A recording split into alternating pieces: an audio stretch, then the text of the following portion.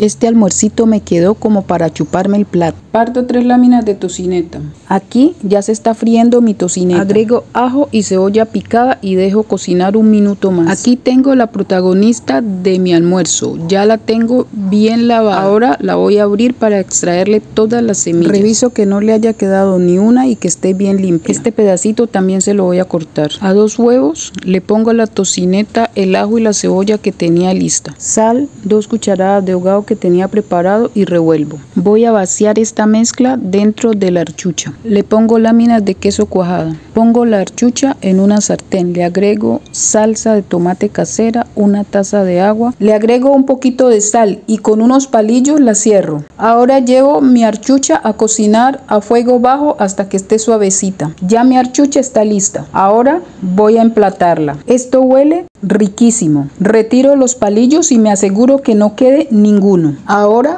a ver cómo quedó para chuparme el plato.